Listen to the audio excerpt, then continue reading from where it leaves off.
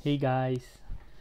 Well, we are uh, in the month of June now. Can't believe it. It actually took a long time to get to June. You know, it would have been a lot faster if we were in school.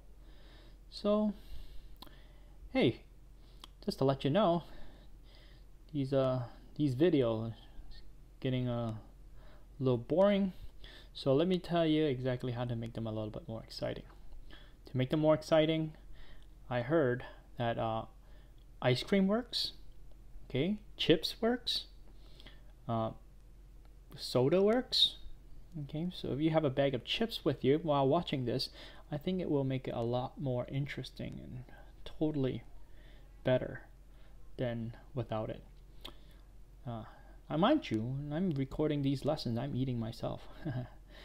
I'm eating candy like this candy called Ema. Drinking this stuff called um, Milkis. Do you guys know what Emas are? Hey, if you do, you know, comment on the comment section. Okay. Anyway, let's take a look at. Uh, let's take up this question right here. Okay. Uh, hydrohalogenation. So, we know that for this reaction to occur, you have to have 25 degrees Celsius. Now, what you're doing is you're reacting an alkene to hydrochloric acid or hydrogen chloride. Now, what happened here is that hydrogen chloride will break apart. It will attack either one of these double bonds. So, because of that, what potential product are you going to get? Alright, so let's say this guy decided to attack this double bond.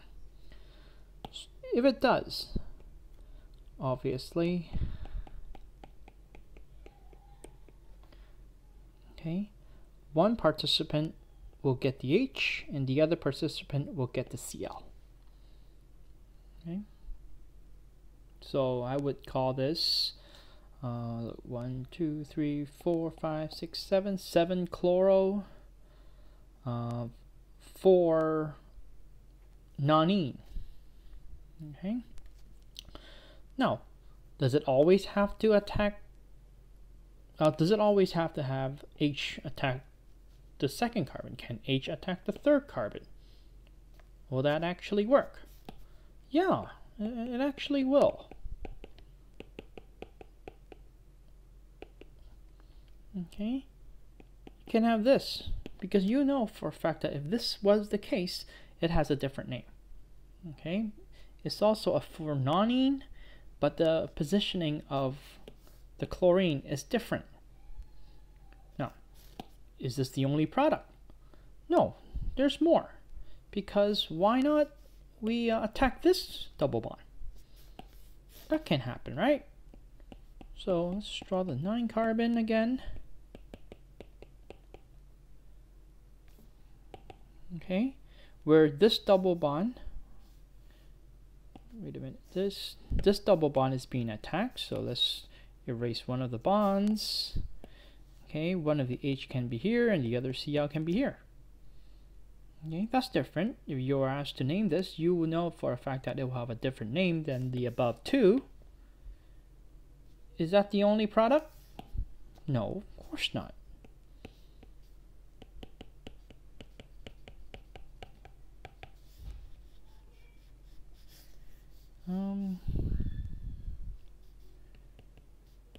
This is another product.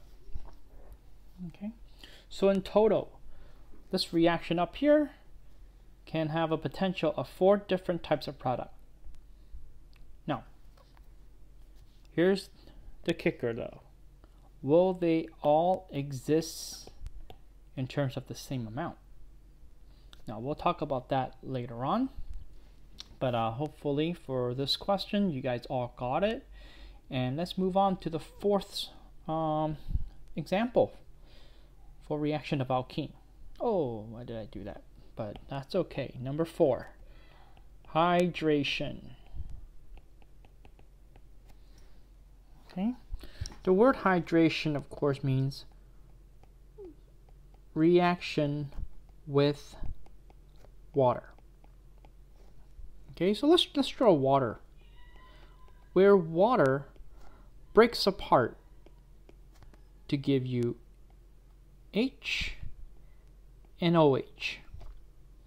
Okay, so it's more like H plus and OH minus. Now we, we've seen that before. Water has that ability to do that, to split like that. So let's take a look at some example here. Okay, I have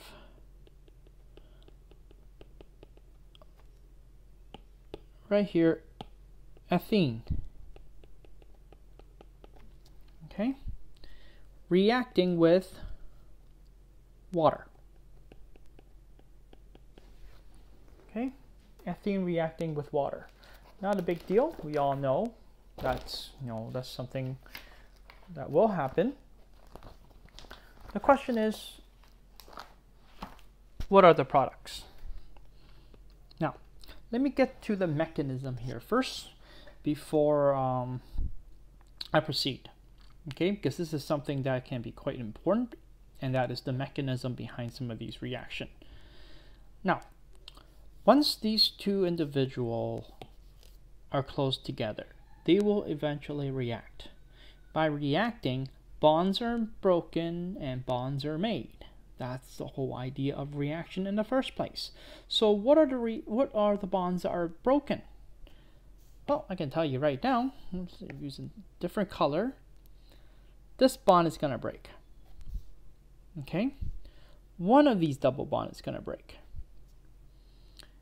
Now, the thing is this though. When this bond breaks, where the electron go?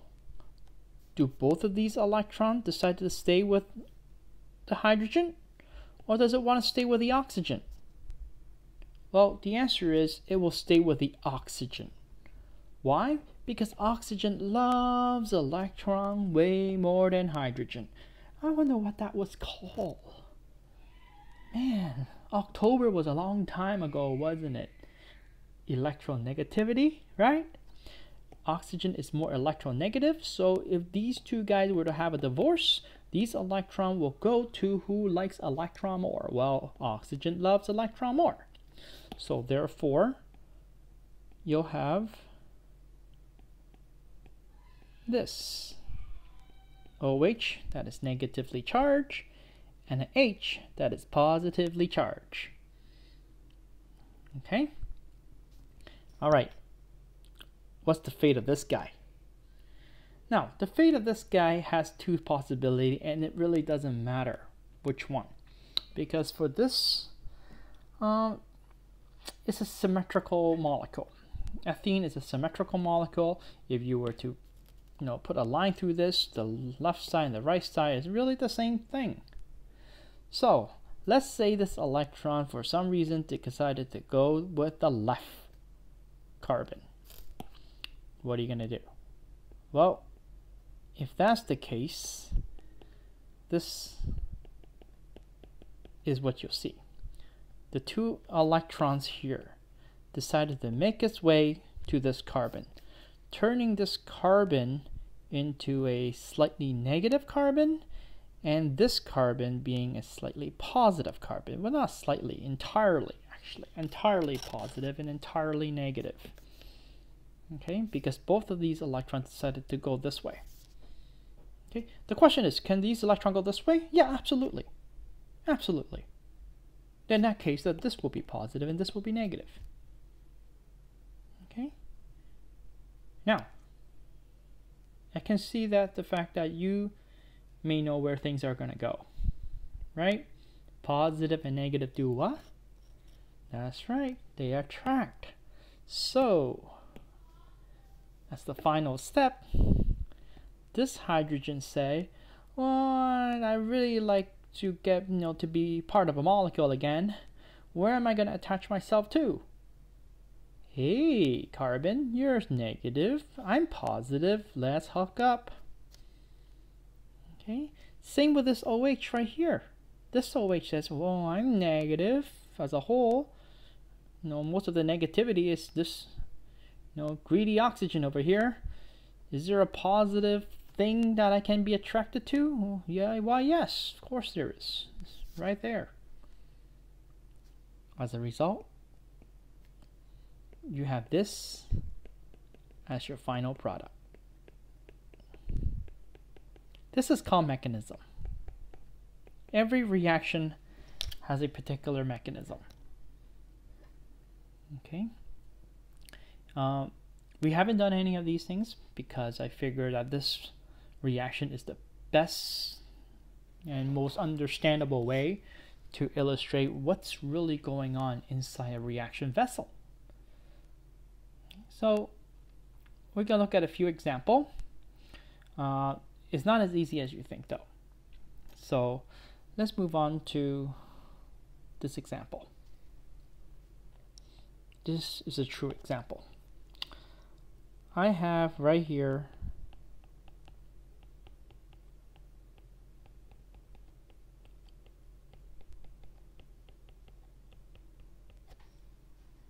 Ooh, this is a big mistake. Here you go. Okay, one propene or propene. Doesn't matter. You don't need to say one.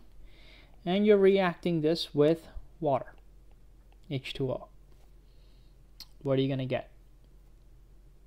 Well, let's take a look at the mechanism here again. Okay, the mechanism here, let's erase this, let's maybe put it down here, is that this double bond, one of the double bond is going to break, and the electron will go either on this side or go on this side. Okay, now does it matter this time? Because earlier for this one, it didn't matter if it goes here or there because this thing is symmetrical. But in this case, this thing is not symmetrical. So it does matter if it goes here or here because it will give you different things. Let's say, let's use a different color. For this example, the two electrons decided to move its way left, causing the middle carbon to be slightly, to be uh, positive, to be negative. Okay. And for this guy, the electron decided to move right. So the right carbon is negative.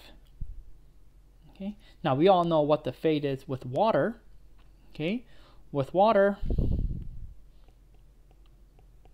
let's be consistent with the color. Okay, you have H plus and OH minus. Okay, because water breaks apart, just like what we saw here. Okay, it breaks apart. Uh, in this case, there's H will never be negative, O will never be positive because O is way more electronegative. So it's always going to be OH minus and H plus. So electron really don't have choices to in terms of where to go. It goes to the atom that is more greedy for electrons. So in this case, we see that H will be attached here, OH will be attached here. So let's write this down you will get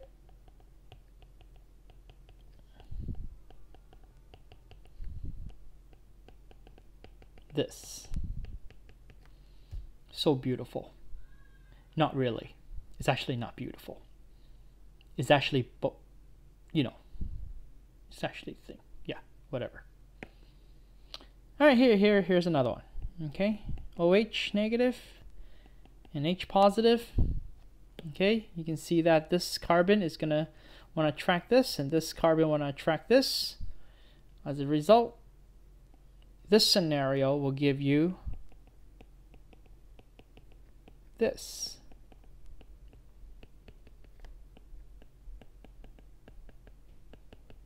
There you go. Okay. I hope you can see that this and this are isomer. They have different name okay uh, in fact this is an alcohol Okay, it's a primary alcohol. This is a secondary alcohol. Let's, let's give it a name. This is isopropanol or 2-propanol. This one is 1-propanol. I shouldn't think I sh should go back up here and and write down the general reaction here. You get an alcohol.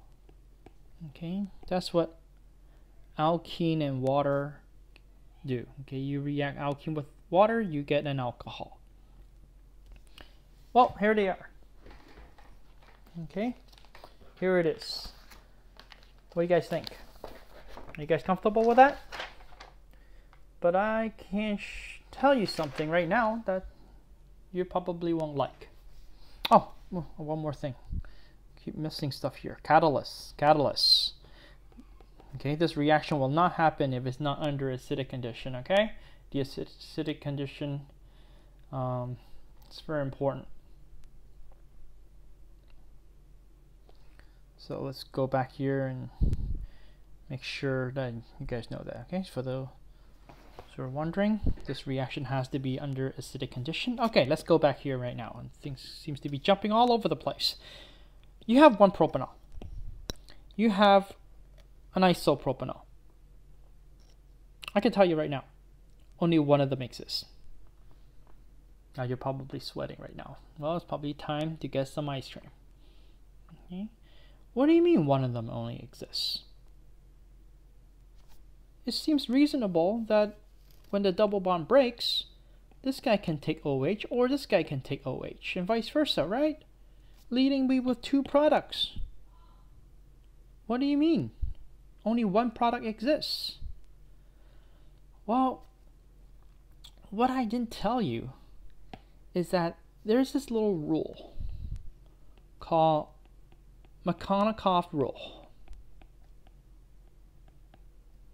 I think it's some Konakov sounds like a, a Russian name. I don't know. Okay, you don't need to know the rule that well. But then, of course, uh, its rule is this. Okay, there's actually two variation of it. The first variation, they said that H. Actually, let's not say H. Let's say the rich okay? Instead of dollar sign it is H. Gets richer. Okay? The rich gets richer. So as a carbon if you already have a lot of H's with you you're going to get more H's than the one who's not. Okay let's take a look at a scenario right here. Okay, let's take a look at this scenario and take a look at this scenario. Okay, H is what we're concentrating on because that's like money. H is like money, money. Okay, let's erase this for a second. Let's erase this for a second. Let's not talk about the plus and the minus. Okay, this is quite elementary, and I will tell you the more scientific way later on. All right, so the rich, the rich get richer, right? So which carbon right here is richer? Okay, remember H means money. So if you look at this C, this C is hooked up to one H. This C is hooked up to two H's. Okay, so rich gets richer. This C is more rich, so therefore it makes sense that you get this H. Right? Uh, right? It only makes sense that it picks up this H right here. So if this carbon picks up this H, this carbon must pick up this OH. Which means this is the ultimate product. This actually doesn't exist for this reaction. It exists. You know, there's some there's obviously such thing as one propanol, but not from this reaction. You have, if you're going to make one propanol, you're going to have to make it through another type of reaction. Okay, so if you're going to do uh, hydration of alkene, only this product exists because of Markovnikov rule, because rich gets richer. So when the double bond breaks, this carbon who already has two hydrogen will pick up the hydrogen from so, so this hydrogen as I said again um, will get picked up okay by this carbon and this OH will be picked up by this carbon um, due to this carbon already having two hydrogen okay now let's take a look at the real reason. The rich gets richer is only an analogy. So let's go back. And let's put those charges back. Okay. We said that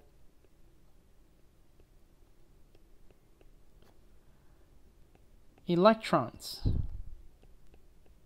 Oh, this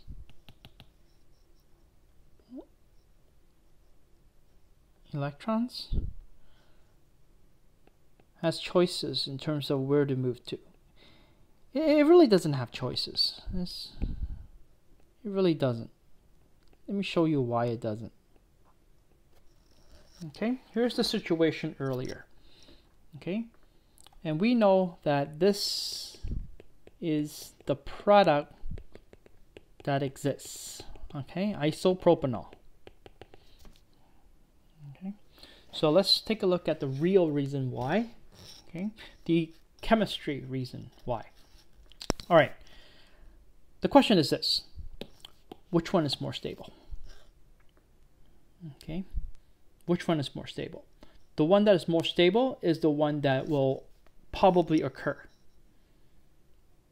So, is electron moving here more stable or electron moving here more stable? Now, this, this is not something that you've learned before. Okay? There's something called steric hindrance in inorganic chemistry, in all, in, in all chemistry. Okay? Where electron is not really just hit on these bonds, but it's actually a cloud, a cloud hovering the whole molecule. Okay? It's actually a cloud hovering the whole molecule. So, what that means is this. If this is very a lot of electrons, bearing a whole bunch of electron, whole bunch of electron, and this guy is already fully negatively charged. This is actually a very unstable situation so unstable that this guy's saying, whoa, you, you, these electrons, these electrons, can you just get away? Leave me alone. But of course, this guy, these guys are not going to say, no, no, we cannot leave you alone. We're hooked up into bonds. We're going to stay here. This guy is very annoyed.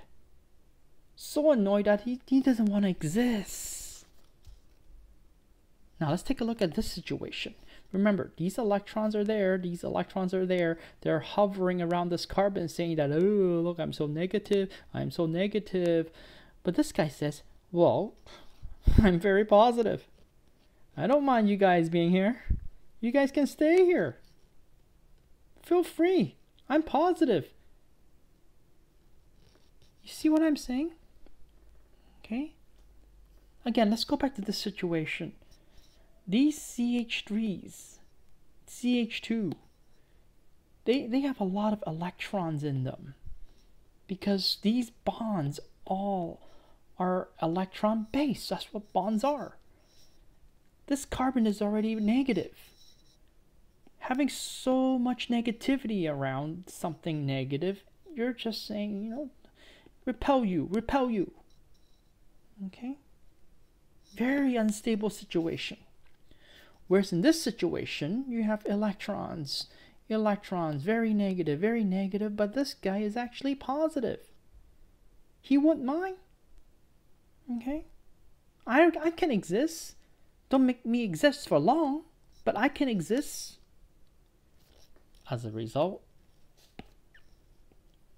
when OH minus comes and H plus comes, okay, they have two places. Does he want to go over here and hook up with this guy? Or does he want to come over here and hook up with this guy? Take your pick. I can tell you right now. This guy won't be there because he's so unstable. So these OH and these H really don't have anything to pick, like I said earlier. It's gonna do this. That's why you get this. That's Markovnikov rule, and that's the true chemistry behind it. But of course, you can just think of it, you know, the rich gets richer, and that would be good. Okay, because it's, it's true. Okay, you wouldn't explain that to a room full of chemists. Okay, but you would explain, of course, this idea to make things make sense. Anyway, let me give you another question, and then I will call it it for the day. Uh, let's let's clear the screen right here. So I have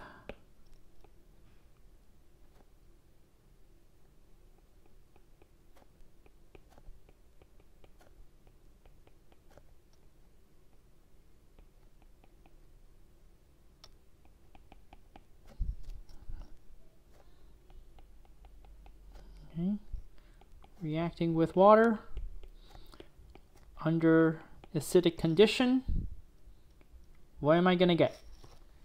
Okay, so uh, hopefully you can just shut off this video, pause this video, and figure it out, and then come back when you're done. Okay, now you're back. Um, because of Markovnikov rule, where would H go? Will H attack this carbon or this carbon? Well, the answer is very simple. Rich gets richer, so therefore this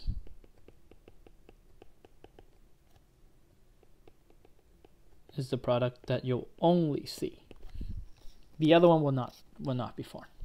Okay, it's too unstable to have a, uh, a carbon cation uh, for the middle carbon. All right. Uh, hopefully you guys are comfortable with this. So let me just give you one more just to make sure that you guys got a hang of this.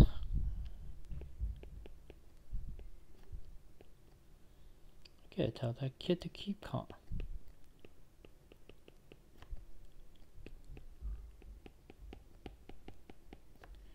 All right. Uh, this won't be a hydration question.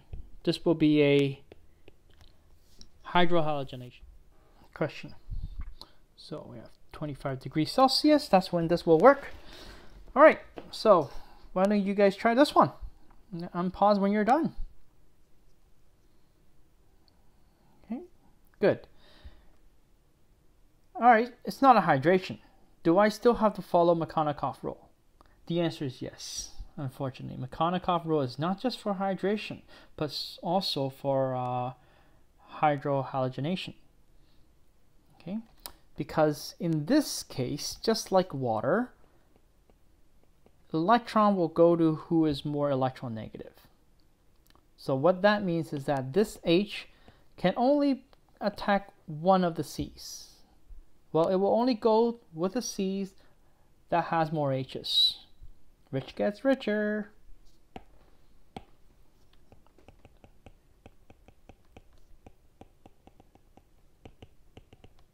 So you get yourself right here a tertiary alcohol. Okay? So whenever you get a hydration or a hydrohalogenation of an alkene, um, make sure you look carefully. Okay? Because Markovnikov rule always applies.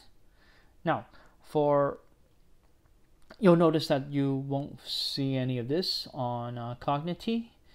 I think Cognity don't expect you to know Markovnikov rule, but you need to know Markovnikov rule. That's very, very important because it's quite embarrassing to tell people that this reaction exists when in fact it doesn't.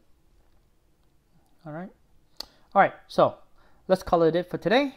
So tomorrow uh, we'll be looking at reaction of alkynes. It's really just reaction of alkene. Maybe going it twice. You'll see tomorrow. Okay. So have a good day now. Bye.